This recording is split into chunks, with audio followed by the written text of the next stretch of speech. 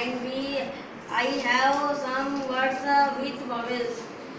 A I A E I O U A and apple and ant uh, elephant and egg I, N, import N ice cream O, N, orange and owl and and unit and umbrella. Thank you.